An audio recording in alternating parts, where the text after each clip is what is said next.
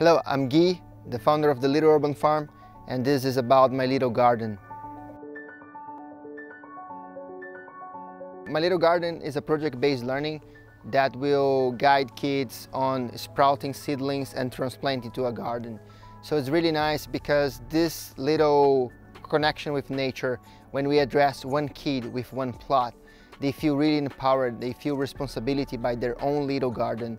And if they commit to do the care and to water and to put in the right place and protect from bugs, they will harvest and they will feel really, really happy to eat their own organic and healthy food.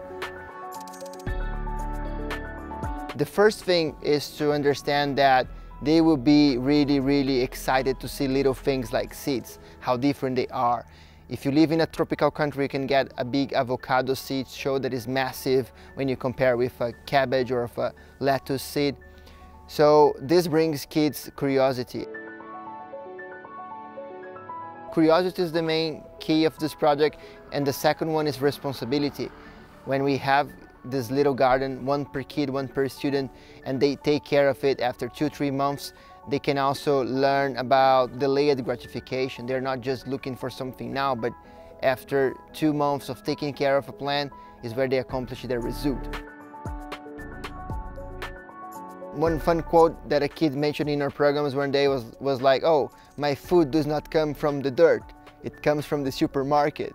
Other kid made the observation about cucumber, zucchini, and um, pumpkin, telling that, oh, these three are uh, plants who have a yellow flower and now I know the difference of these three yellow flowers.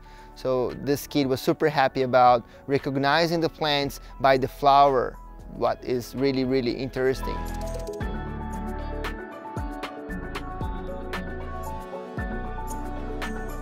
Having a little garden allows students to have a deep emotional connection with plants that creates compassion and empathy by doing this little garden from the seedling to the time you harvest. Allow kids to take sense of their responsibility, their adaptability. They will need to interact with this plant and water, so they're gonna take care of it. And little by little, it will, they will see the transformation of the seed into a plant. And then by when the plant is coming, they will be happy. They want to share with their families. They want to share with their friends. And probably they will enjoy eating, even if it's a salad. And kids are nowadays not that much into healthy food like a salad. But when they grow, they have this emotional connection. And this is the thing to train and to inspire these little explorers to take care of our planet by falling in love with this little nature that is not there in the national park, but it's here around us in, in everything we touch. I hope you guys had a great time and thanks for watching.